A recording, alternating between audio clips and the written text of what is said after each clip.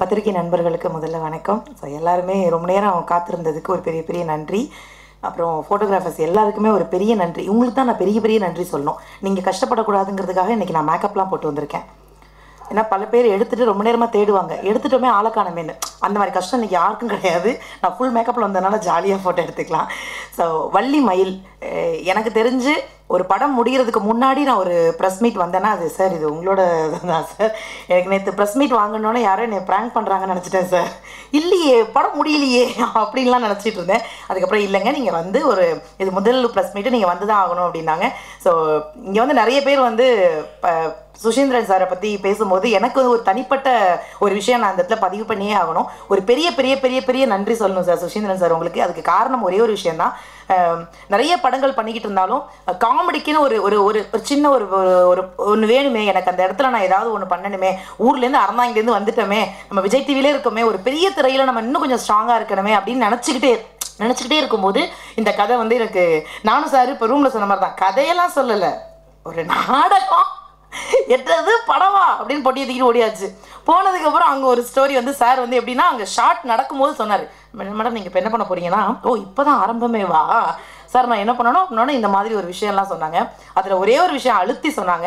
இந்த விஷயத்தை நீங்கள் அடிக்கடி பண்ணிக்கிட்டே இருங்க. இந்த படம் முடியும் போது உங்களுக்கு இந்த இந்த படத்தில் உங்களோட ரோல் வந்து அவ்வளோ அழகாக ரிஜிஸ்டர் ஆகும் அப்படின்னாங்க. ஸோ இது இது இதை முடிச்சுட்டு சுசீந்திரன் சார் போகவே இல்லை. இந்த இடத்துல தம்பிராமையா சாருக்கு ஒரு பெரிய நன்றி சொல்லணும். உண்மையிலேயே காமெடி ஜாம்பவான் அப்படின்னு நான் அவரை நான் நான் தைரியமாக சொல்லுவேன். ஏன்னா நானும் தம்பிராமையா சாரும் நிறைய விஷயம் கிரியேட் பண்ணிக்கிட்டே அங்கே சார் இது சார் இது சார் இது சார் இருக்கும்போது சுஷீந்திர சார் நினச்சிருந்தா இல்லைம்மா இது வேணாம். ஆக்சுவலி அவர் டேரக்டர் வித் எடிட்ரு நான் ஏதாவது ஒரு விஷயம் சொல்லும்போது இதெல்லாம் படத்தில் வராதுமா சார் ஆரம்பத்திலே அவசகுணமாக பேசாதீங்க சார். இல்லைம்மா இது வராது இது வேணாம் அப்படின்றாரு. ஸோ ஆனால் ஒரு ஒரு கலைஞர்களுடைய அந்த ஒரு விஷயம் தோணுது அப்படின்னா அந்த தோணுதலுக்கு மரியாதை கொடுத்து இந்த விஷயம் நல்லா இருக்குமா? இதை நீங்கள் படத்தில் வைங்க. இந்த விஷயம் நல்லா இருக்கு நீங்கள் பண்ணுங்கன்னு எனக்கு தெரிஞ்ச இந்த படத்தில் முழு சுதந்திரம் எல்லா கலைஞர்களுக்கும் கொடுத்தது டைரக்டர் தான். ஸோ அதுக்கு ஒரு பெரிய பெரிய நன்றி சார் நீங்கள் அதை தாண்டி நீங்கள் ஒரு நல்ல மனிதருங்கிறத நான் எங்கே உணர்வேன் அப்படின்னா நான் வந்து விஜய் டிவியில் ரொம்ப ஃப்ரீயாக ஜாலியாக எல்லாரையும் எனக்கு நல்லா தெரியும். நான் படத்தில் எனக்கு அவ்வளோவா யாரையும் தெரியாதனால எல்லாரும் ஹீரோ ஹீரோயின் பெரிய ஆட்களாக இருப்பாங்க. நான் கொஞ்சம் ஒதுங்கி ஒதுங்கியே போய் உட்காருவேன். ஆனால் எந்த இடத்துல நான் உட்காந்தாலும் இப்போ கூட இங்கே ப உள்ள நீங்கள் பத்திரிகை நண்பர்கள் பார்த்துருக்கலாம். நிஷா இங்கே வந்து உட்காருங்க. நிஷா இங்கே வந்து உட்காருங்க. அந்த மண்ணின் மனம் மாறாத மாறாத ஒரு அன்பு தோழர்னே சொல்லலாம். அவ்வளோ ஒரு நல்ல மனிதர். இந்த நல்ல மனசுக்கே நீங்கள் சூப்பராக இருப்பீங்க. சார் போகும்போது எனக்கு ரெண்டு பவுன் செயின் கொடுத்துருங்க சார். ஒற்றுமை கொடுத்தாரா? ஸோ இந்த நல்ல குணம் எந்நிலை போனாலும் தன்னிலை மாறாத ஒரு இயக்குனர். கண்டிப்பாக நீங்கள் வந்து இந்த படம் ஒரு பெரிய பெரிய ஹிட்டு கொடுக்கும் சார். எங்களுக்கு பெரிய நம்பிக்கை இருக்குது உங்கள் மனசுக்கே. அதுக்கப்புறம் வந்து விஜய் ஆண்டனி சாரை பற்றி வந்து நான் சொல்லியே ஆகணுங்க. நான் படத்தில் பார்த்தது எப்படின்னா அவர் ரொம்ப அமைதியாக இருப்பார். நேர்லலாம் ஜாலியாக பேசுவார். நினச்சிட்டு இருந்தேன். ஆக்ஷன் அப்படிங்கும்போது ரெண்டு வார்த்தை பேசிட்டு திரும்பி பார்த்தா ஆளை காண போயிடுவார் சார் அப்படின்னா யார் சாமி நீங்கள் யார் நீங்கள் எங்கேருந்து சார் கூட்டிகிட்டு வந்தீங்க இந்த மல்கோவா மாம்பழத்தை? அப்படியே சார் நான் நீங்கள் அவரை நீங்கள் எப்போ நான் ரொம்ப நேரம் யோசிப்பேன். இவர் எப்போ சிரிப்பார்? தூங்கும் போது தூங்கிடுவார் அப்போ யார்கிட்ட எப்படி சிரிப்பார் இவர்? எப்போ பேசுவார் இவர்? நான் இப்படியெல்லாம் யோசிப்பேன். முதல் ரெண்டு நாள் நாங்கள் இவர் ஏன்னா நாங்கள் இவர்கிட்ட பேசலைங்கிறத தாண்டி இவரை நம்ம ஒரு கம்ஃபர்ட் ஜோனில் நம்ம கிட்ட வரலையே. நம்ம கடை நம்ம வளவளவலன்னு பேசுவோம். அவர் ஆக்ஷன் சொல்லும் போது தான் பேசுகிறாரு அதுக்கப்புறம் ஒரு லுக்கு கூட விட மாட்டாரு ஆக்ஷன் முடிஞ்சோன்னா ஓகே இது முடிஞ்சோன்னா யார் மனுஷன் இந்த மனுஷன் இந்த மனுஷன் நம்ம போகக்கூடாதுங்க. நமக்கு ஒரு மாதிரி அவமானமாக இருக்குது அப்படி சொல்கிறோம் ஒரு ரெண்டு நாள் தாங்க முடிஞ்சுச்சு மூணாவது நாள் சாரே வந்து என்னையும் சேர்த்துக்கோங்க. நான் இல்லை சார் நீங்கள் அது சரிப்பட்டு வர மாட்டீங்க. நீங்கள் பேசவே மா இல்லைங்க நான் நல்லா பேசுவேன்.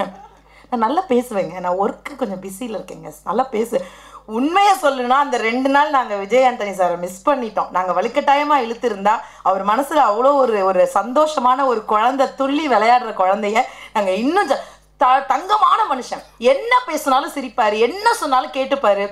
நீங்கள் உட்காருங்க நிஷா. நீங்கள் நான் நீங்கள் நல்லா பண்ணுறீங்க இன்னொன்று சார் ஒரு கலைஞர்கள் எப்போ உயர்வுக்கு போகிறாங்க அப்படின்னா இன்னொரு கலைஞர்களை பாராட்டும் போது தான் சார் நீங்கள் நிறைய இடங்களில் கவனிச்சு பாருங்களேன். சூப்பராக பண்ணுறீங்கன்னு யார் வாயிலேருந்து நிறைய பேர் வராது சார் எப்படி பண்ணுறான் அப்படின்னு தான் வருது சார் உண்மையை சொல்லணும்னா இந்த கொரோனா காலத்தில் தான் சார் ஒரு விஷயத்த நான் உணர்ந்தேன். பக்கத்து வீட்டுக்காரன் நல்லா இருக்கணும்னு நினச்சதே இந்த ரெண்டு வருஷம் தான் சார் அவன் நல்லா இருந்தால் தான் சார் நம்ம நல்லா இருக்க முடியும். அவனுக்கு வந்துட்டா நமக்கும் வந்துருமே. அதனால இந்த இந்த மாதிரி இருக்கக்கூடிய காலகட்டங்களில் அடுத்த கலைஞர்களை பாராட்டும் போது தான் அவனும் உண்மையான கலைஞராகிறான் அப்படின்னு சொல்லுவாங்க. நான் பார்த்ததுல விஜய் ஆண்டனி சார் ஒரு சின்ன ஷார்ட் முடிச்சாலும் சூப்பராக இருக்குங்க. நல்லா பண்ணுறீங்க அதை கூட ஹஸ்கி வாய்ஸில் தான் பேசுவார். எனக்கு தெரிஞ்சு அவர் பாடும்போது மட்டும்தான் சார் கத்தி பேச பாடுவார் போல. மற்ற நேரங்களில் வந்து ரொம்ப அமைதியாக நல்லா பண்ணுறீங்க நிஷான் சார் இந்த பண்பு உங்களை மிகப்பெரிய உயர்வுக்கு கொண்டு போகும் சார். நான் வந்து உங்களை பார்த்து இந்த உங்க கூட ஒர்க் பண்ண டேஸ் கம்மியாக இருந்தாலும் நான் பார்த்து வியந்த அந்த விஷயம் அடுத்தவர்களை பாராட்டக்கூடிய மனம் இந்த உலகமே உங்களை பாராட்டுற இடத்துக்கு நீங்கள் வந்து உட்காருவீங்க சார். சீக்கிரமாக அது நடக்கும் சார். ஏ- அதுக்கப்புறம் இயக்குனர் சார் வந்து எங்களெல்லாம் பழி வாங்கினாரா? இல்லை அவரே பண்ண ஃபரியா? சார் நல்லா இருக்கீங்களா? நம்ம நேரம் தானே கேட்கணும். ஃபரியாவை மட்டும் நல்லா இருக்கீங்களா? அவ்வளோதான் கேட்கணும். அவ்வளோ ஒரு ஹைட்டு அவ்வளோ ஒரு உயரம் சார். அவங்க வந்து ஆக்சுவலி வந்து உயரத்துலையும் உயரம் கிடையாது. ஐ மீன் அந்த வளத்தின்னு சொல்லுவோம் நம்ம ஊர் பக்கம்லாம். உயர்வு அப்படிங்கிறத தாண்டி அவங்க உள்ளத்துலேயும் உயரமான குணம் தான் இது ரொம்ப குழந்தையான மனசு. ஒரு ஹீரோயின் நான் ஃபர்ஸ்ட் டே பார்க்கும்போது எல்லாருக்கும் உள்ள பயம் எனக்கும் இருந்தது. அவங்க ஹீரோயின் நம்மக்கிட்டலாம் சரியாக பேச மாட்டாங்க. அப்புறமா பார்த்தேன் அந்த நான் வந்து அந்த நான் படம் எடுத்தது எல்லாமே கிராமத்தில் தான் எடுத்தோம். திண்டுக்கல் சுற்றி எடுத்தோம்.